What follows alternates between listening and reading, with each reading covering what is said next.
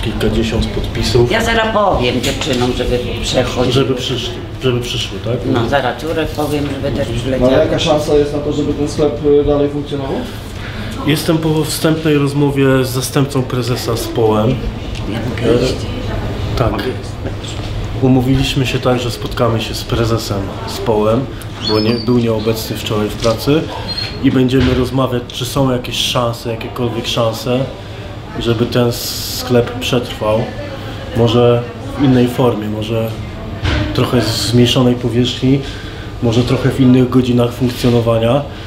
Możliwe też są rozmowy ze spółdzielnią mieszkaniową, być może o kwestii wysokości czynszu. W każdym Generalnie przyczyna ekonomiczna, tak? tak, z przyczyn ekonomicznych ma ten sklep być zamknięty z końcem kwietnia. E, Decyzja zapadła. Decyzja zapadła, natomiast mieszkańcy w swojej spontanicznej, oddolnej akcji, o której ja się dowiedziałem od jednej z mieszkanek, która mnie poprosiła o włączenie się do tej akcji, zaczęli zbierać podpisy. Tych podpisów mamy tutaj od no, kilkadziesiąt już, tak? Ich cały czas e, liczba rośnie, dlatego że powiem Państwu, że mieszkańcy są przyzwyczajeni do tego sklepu. On działa tutaj, można powiedzieć, kilkadziesiąt lat, 30 lat czy dłużej. Na trwałe wpisał się w krajobraz tego osiedla. Mieszkańcy są przyzwyczajeni do społemowskich wypieków, są przyzwyczajeni do tego sklepu i prawdę mówiąc nie wyobrażają sobie tego, żeby tego sklepu tutaj dalej nie było, dlatego tak chętnie podpisują się pod petycją. Oczywiście ja rozumiem względy biznesowe. Z biznesem się nie dyskutuje, z rachunkiem ekonomicznym się nie dyskutuje. E, Nikt tutaj się nie będzie przypinał łańcuchami do tego sklepu. Chodzi nam tylko o to, żeby szefostwo z Połem jeszcze raz rozważyło wszystkie względy i być może wspólnie znajdziemy jakieś rozwiązanie, żeby ten sklep w tej czy w innej lokalizacji, ale tu w pobliżu dalej funkcjonował. Jeśli ten sklep zostanie zamknięty, to tutaj na osiedlu żadnego społemowskiego sklepu nie będziemy mieć. Najbliższy będzie na Groblowy. Bo w Grudziądzu jest y, kilka sklepów społemowskich, a jak to wygląda w innych regionach? Y, Czy one też będą likwidowane? Czy, czy... No o to nie pytałem, skupiam się na tym sklepie, nie, nie mam informacji, czy inne sklepy będą likwidowane. Wiem tyle, że ten sklep ma działać do końca kwietnia.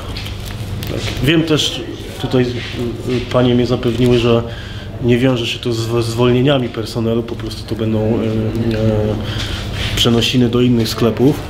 Natomiast y, mieszkańcy, którzy się ode mnie dowiadują o tym, że ten sklep być, ma być zamknięty, robią wielkie oczy i nie dowierzają i mówią jak to, z połem? Przecież on był od zawsze. Prosimy, to tutaj jeszcze. Panie proszę, to tutaj może pan sobie ten. Pan czytał pan petycję już? Nie no, to czytania, ale No tutaj no, pro- tu są względy ekonomiczne głównie. to sklep jest, dla lat, no to powinien być, nie? Powinien być. No on jest już, nie wiem, 30 lat, może więcej może. Więcej. Więcej, tak? Bo ja tu mieszkam ponad 50. Ponad 50 lat pani pani mieszka? No to normalnie. I to i ten sklep. Odkąd pani mieszka? Nie, nie, nie, nie. Przedtem był na e, tej Na Królewskiej. Królewskiej taki mały był spór. Tak, tak, tak, tak, tak. A później jakoś to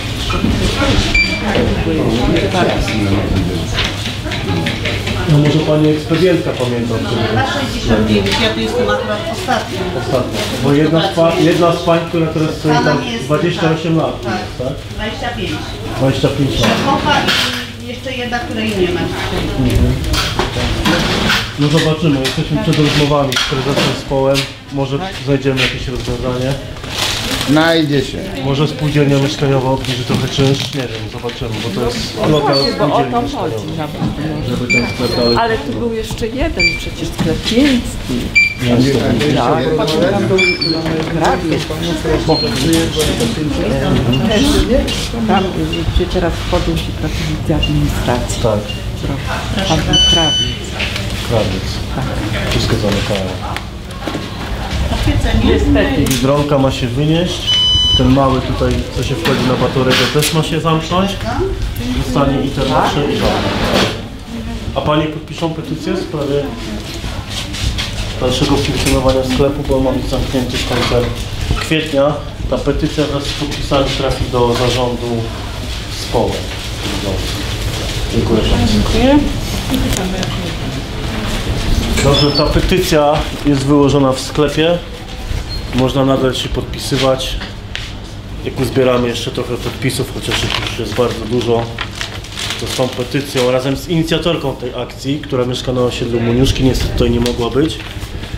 Zaniesiemy to do zarządu z połem, będziemy szukać jakiegoś rozwiązania, żeby ten sklep w tej czy w innej lokalizacji pobliskiej nadal panowie. 55 lat tu mamy sklep, tu mieszkam. No i to jest sklep naprawdę taki, że no nie ma takiego sklepu. I Jak się wchodzi, to nam- czuć zapach pieczywa, to jest to. Tak, nie? pieczywo, To jest to. ale tu w ogóle ekspedientki, no to są super. No takich nie ma nigdzie. Moje I dziecko, te mamy stare ludzie, 7-letni idziemy syn uwielbia tu chodzić. No, no wszyscy, no wszyscy, naprawdę. Pewno. Nie róbcie tak do czegoś. 80 groszy poproszę. A pani od jak dawna Pani tutaj zapatruje się? już? Nie. Na petycji? Proszę pani Półtorego 40 lat. 40 lat. I ten sklep od tych 40 lat tutaj działa? Pamięta pani? Czy Tak, początek, pamiętam, tak? pamiętam. 40 lat. 40 lat, no to ja mam 40 lat. To już powinieneś pamiętać. Pamiętam, jak stałem z mamą po kawę. Tylko nie nagrywam, który mieszkamy. Dziękuję pani. Proszę mówić sąsiadom, że petycja leży tu w sklepie, można się podpisywać.